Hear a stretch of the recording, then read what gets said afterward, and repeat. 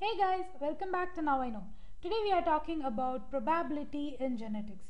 To be specific, rule of multiplication and addition. If you guys need, take pen and a paper and try and practice during the video. Pause it as and when you need. That will make video very interesting and easy to understand. So let's begin. Alright, so let's start with multiplication. Now, multiplication is used in genetics when we are uh, having independent events, when we are dealing with independent events occurring in a sequence. And how would we know that we have to apply the rule of multiplication in this kind of uh, question? That is uh, by the presence of word end in the question. Okay, you will see the word end present in the question. That means you need to apply the rule of multiplication. Let's just take a couple of example and make this clear for us. Alright, let's just begin with a very uh, basic problem which says when a coin is flipped three times, what is the probability that head will appear all three times? First time also we need head and second time also we need head and third time also we are expecting head to appear. So what is the probability that all three times when you flip a coin head will appear. So probability of head to appear when you flip a coin is 1 by 2 right because there is only uh, two possibility head and tail to appear. So to, for head to appear is 1 and 2 when you flip a coin first time. Now second time when you flip a coin again you will have 1 by 2 possibility and third time when you flip a coin also you will have 1 by 2 possibility of head to appear. So now what we need to do is just multiply all the probability okay and the, and the answer will be 1 by 8 so 1 by 8 is the probability of getting head all the three times when I flip the coin. Right let's let's move on to second problem which is also similar but now we'll move towards genetics side. All right so what the second problem says in a family of three children what is the probability that all three are girls? Somewhat similar to question number 1 so that is uh, first birth the probability of child being a girl is 1 by 2 right? Second time also the probability is 1 by 2 in the third birth also the probability of the child being girl is 1 by 2 so what we need to do simply multiply all the probabilities.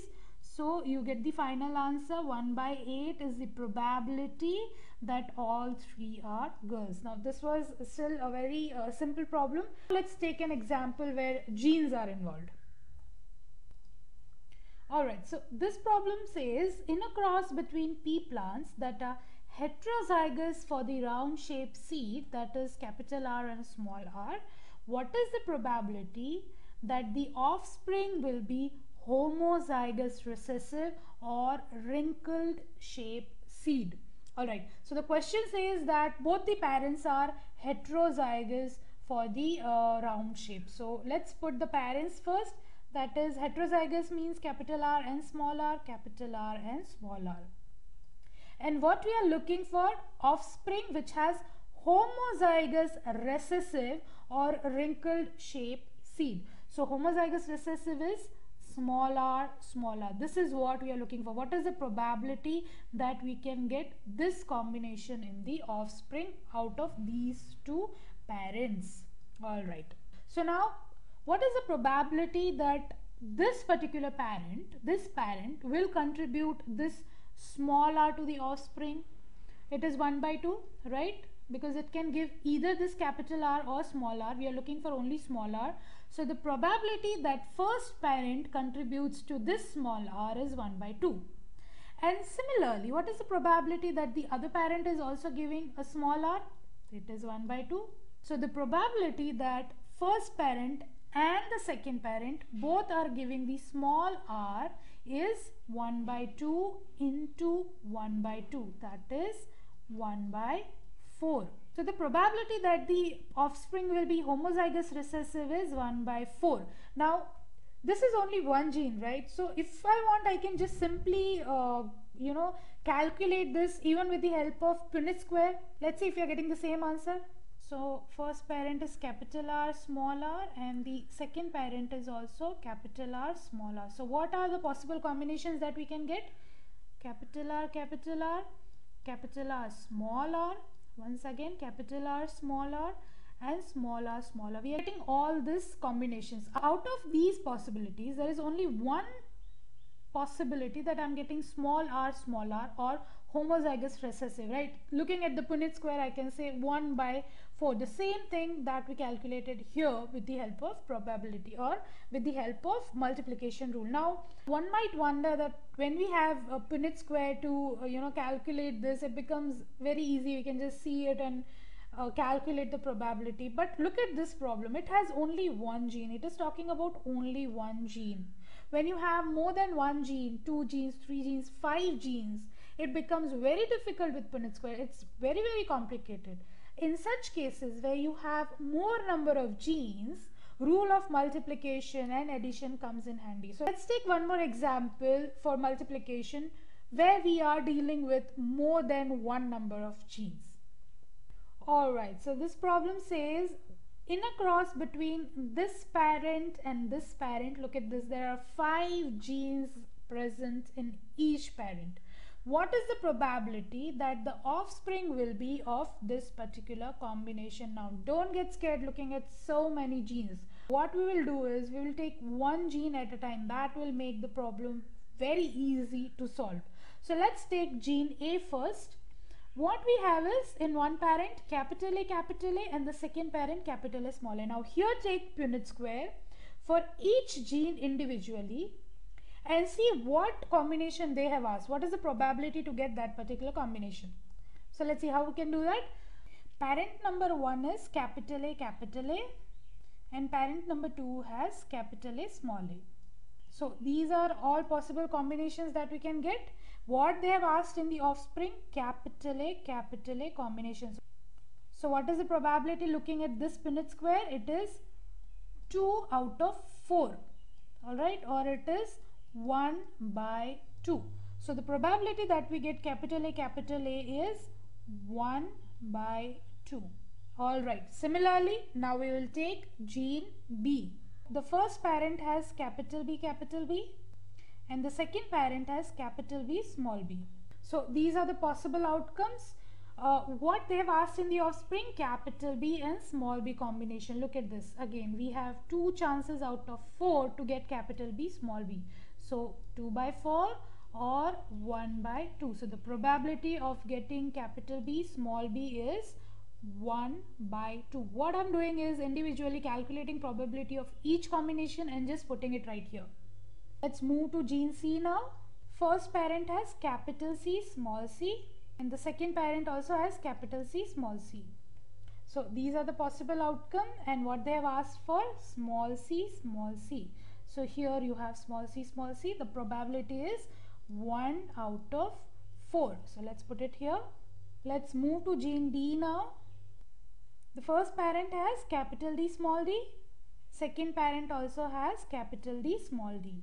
So out of these combination what they've asked in offspring small d small d similar to uh, C. So you have 1 out of 4 probability.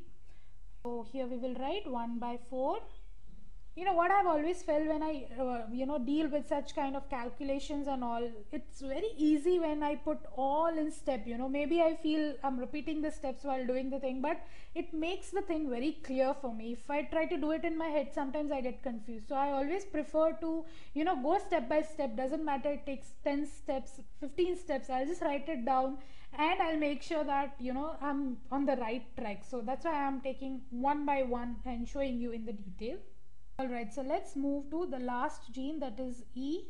First parent is capital E small e.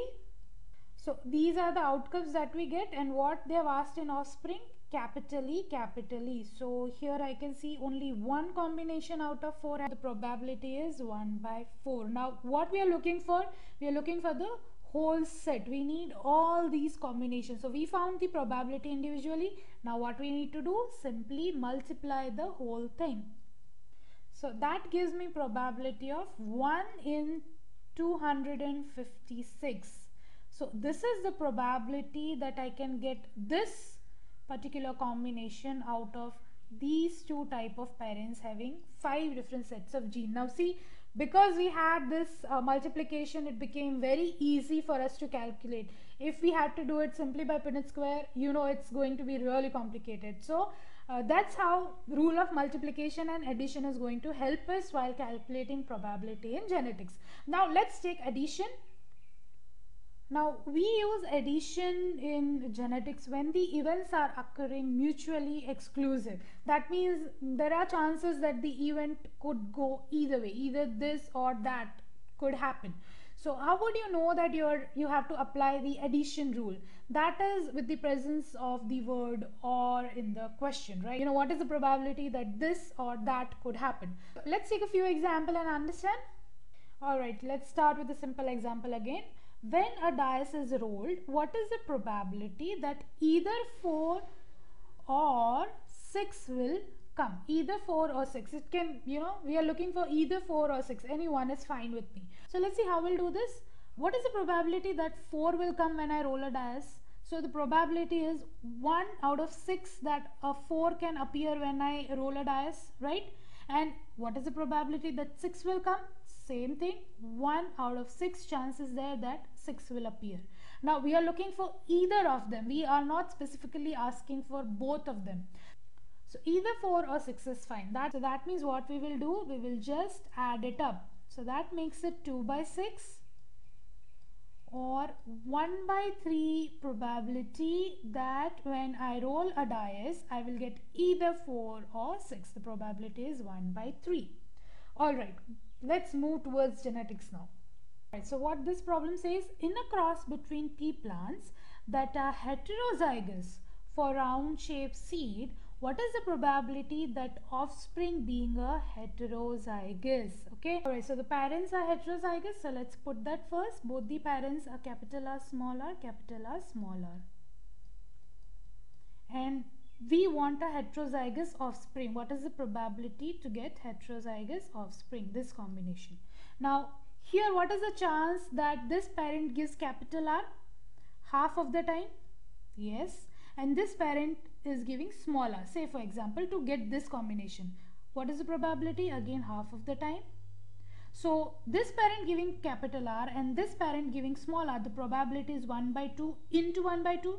That is 1 by 4. This could happen one way or it can happen the other way also, right? This parent is giving small r half of the time and this parent is giving capital R half of the time. This is also possible this way. So again it is 1 by 2 into 1 by 2 that is 1 by 4. So we are looking for either one type of possibility which finally gives me capital R small r combination. So I will add it up. That becomes 2 by 4 or it is 1 by 2. So 1 by 2 is the possibility that I will get heterozygous offspring with these two heterozygous parents. Now let's do the same thing with Punnett square because we are dealing with only one gene and let's see we are getting the same answer or not. This is what we have got both the parents capital R and small r. Look at this there are two possibilities out of four that I get capital R small r offspring. So 2 out of 4 that is nothing but 1 out of 2. So that's what we got when we applied the addition rule. Now let's take one more example where we are dealing with more than one gene. So this problem says in a cross between this parent and this parent, what is the probability that offspring will be either this or this combination? We have possibility. We are not particular. We need either this combination or that combination. So looking at the question we know that we are going to apply the addition rule. Now what we need to do is we need to first find out the probability of each combination uh, separately. As we just saw in the multiplication, we will deal with each gene individually. So let's take gene A first. So parent 1 has capital A small a and parent 2 also has capital A small a. So we are going to see both the combinations side by side, okay? So let me just put it here. Comes easy to understand. I'm looking for either this offspring or this one offspring. Okay. So both you know in any case both the offspring for gene A has the same combination that is capital A capital A and the probability of having that combination out of these two parent is 1 out of 4 okay so let's write it here 1 by 4 here also it is 1 by 4 Now let's move to gene B. Parent 1 has capital B capital B and parent 2 has capital B small b. These are the possible outcome what they have asked in the uh, first type of offspring capital B capital B. So the probability is 2 out of 4 or I can say 1 by 2 right. The second offspring they have asked capital B small b that is also 2 by 4 or 1 by 2. So let's write it down. Now let's move to gene C. Parent 1 has capital C capital C and parent 2 has capital C small c. Alright, so these are the possible outcome. Offspring 1 requires capital C capital C that is uh, 2 out of 4 or I can say 1 by 2 probability. Let me write down here. Offspring 2 is capital C small c so that is also 2 by 4 or 1 by 2.